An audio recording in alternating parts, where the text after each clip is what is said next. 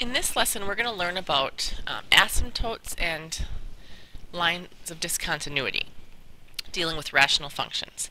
So a rational function is a function who has a variable in the denominator. So it's written as a fraction, you'll see here the examples of f of x, g of x, and h of x. And what happens is um, we're going to be looking at these functions and what's special about them is that there are certain values that don't work for these functions. So whenever you have a variable in the denominator, so for example, take a look at this, this f of x one right here. In this denominator, I have x plus 3. So what happens is if, you'll notice right here it says x cannot equal negative 3. To see what x cannot equal, you take what the denominator is and set it not equal to 0. So when I minus 3 from both sides, I would see that x cannot equal negative 3. The reason you set it not equal to 0 is because we can't divide by 0. So if this would end up being x divided by 0, I can't graph that. That doesn't exist. And so there are going to be places of for these graphs where they don't exist. And so there's gonna, that's going to show up as an asymptote, which we'll talk about in a minute, or a hole, so a spot where it's not touching. So first we're going to talk about that just in this lesson. We're going to kind of see where those holes or asymptotes are. So look at the g of x equation. You can see that we have an x minus 1 in our denominator, so that's why it says x cannot equal 1, because we would again say x minus 1 cannot equal 0. So that's where they're getting that from. And if you want to think of it as the opposite of what's there, that would always work for you. And it also cannot equal negative 4. And then in our third example, h of x, it says the sine of x divided by x. So x, because it's just an x down here, x can't equal 0. So any other value for x would be fine, but x cannot equal the numbers that we list there. So you'll see in our notes it says rational graphs may have breaks in continuity, meaning they're not always traceable without picking up your pencil. So for example, if I have a normal, well not normal, but here's a cubic graph. If I was to trace this graph, I'm never picking my pencil up so there's no break in continuity. For a rational function, an example of what one of those could look like is something like this. So if I'm going to trace this function, this, and this is all one function even though there's two things here. When I go from here to here, I pick my pen up and then come over here. So this would be an example of a break in continuity. And so that's what our rational functions will look like. We've seen these barely before, so we're going to really study them more.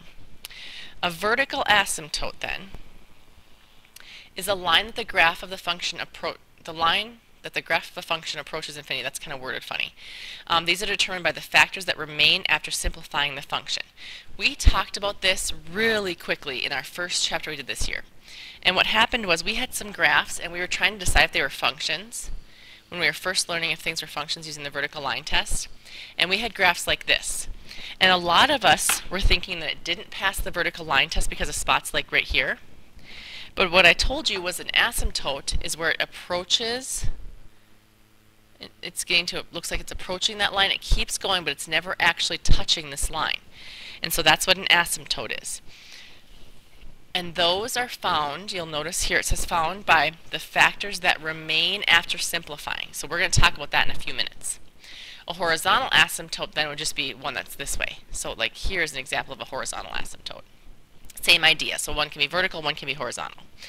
Removable discontinuity, which there's a couple ways you might see that written.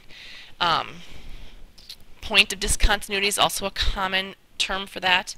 That's a hole in the graph. So these are determined by the factors that we cancel when we're simplifying the function. So for example, I might have this graph, and all of a sudden I go like this, and then there's this hole, and then the graph goes on. And this would be the spot where x can't equal, because it makes the denominator 0.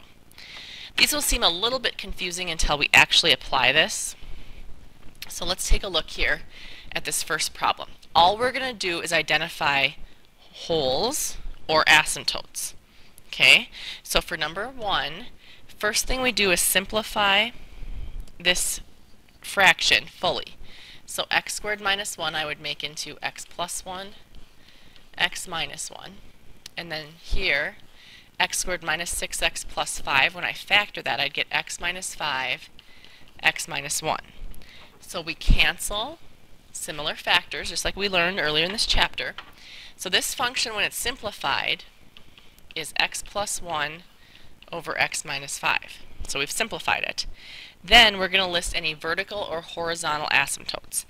Whatever is left in your denominator is your vertical asymptote. We'll call that a VA. So my vertical asymptote, since I have x minus 5, I say what x cannot equal. So I'm going to say x cannot equal 5. Where did I get that? I took this x minus 5 and set it not equal to 0. So we're going to actually give the value instead of saying the factor. My point of discontinuity or my removable discontinuity we'll call our holes or you can call it RD if you want to say hole, that's fine too it's the same idea. That's the factor that you canceled. This is the one students mess up on all the time. It's right here the one that canceled. So I'd say x minus 1 cannot equal 0 so x cannot equal 1 and that's my removable discontinuity.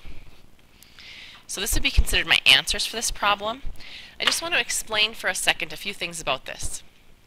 When I graph this problem, which we're going to do in our next lesson, I would have to graph the original problem here in order for me to see the hole because that got canceled so the hole is not going to show up unless I graph the original problem before I cancel anything. The vertical asymptote is always what's left. Your removable discontinuity is always what got canceled. We never, ever, ever, ever care about our numerator. Our numerator can be 0 as much as it wants. 0 divided by something is 0. So the only thing we will ever look at is our denominator. This up here does not matter to me. I don't care about it when I'm looking for my vertical asymptotes or my removable discontinuities. You'll notice I didn't list a horizontal asymptote for this one. Doesn't mean it doesn't have one, but we don't know how to find one. We are only going to learn how to find vertical asymptotes and removable discontinuities from the graph. If you keep going on in math, when you do pre-calc and calc, you will do um, horizontal asymptotes from the equation. But we're going to do ours just from the graph for this class because that's not something needed for us. So we will do those once we actually start graphing these. So number two, I want you guys to try. Pause the video, simplify it, and give me my vertical asymptote and my removable discontinuity if I have one. So when you did this, hopefully you got x plus 2, x minus 2, x plus 3, x plus 2 when you factored. And then when I could cancel, I would cancel the x plus 2's. So my function simplified is x minus 2 over x plus 3. My vertical asymptote would have been what was left in my denominator, so x cannot equal negative 3. My hole, or my removable discontinuity, is what got canceled. So x cannot equal negative 2. If you have any questions on this, make sure you talk to me tomorrow about that.